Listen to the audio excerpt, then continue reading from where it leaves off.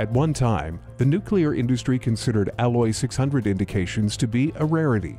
Industry inspections, however, began to reveal otherwise, particularly in aging components like the reactor vessel. The potential for alloy 600 indications exist for several key components of the reactor primary system, reactor vessel head penetrations, bottom-mounted instrumentation nozzle penetrations, and reactor vessel primary nozzles. As a result of these findings, utilities began performing inspections to ensure early detections of indications, creating new risks to outage cost and schedule if components require repair. Plant operators now face a key decision replace or repair aging components. Both options are costly and significantly impact outage schedule. But what if there were a third option?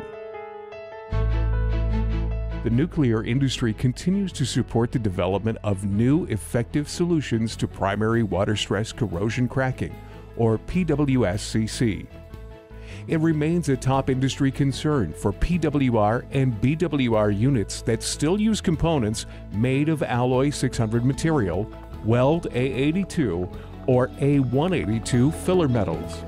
Three factors contribute to PWSCC susceptible material, harsh environment, tensile surface stress.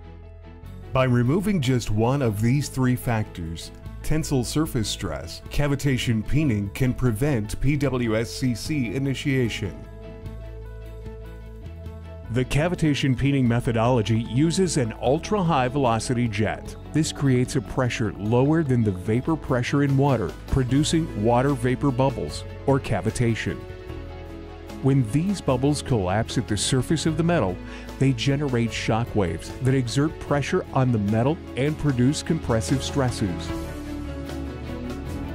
cavitation peening technology is proven and has been safely used for nuclear power plants in Japan. Since no material is being removed, there's a minimal risk to system components. The process uses water and absolutely no debris is produced. The process is available in the U.S. for use on reactor vessel head nozzles, reactor vessel nozzles, and bottom mounted nozzles.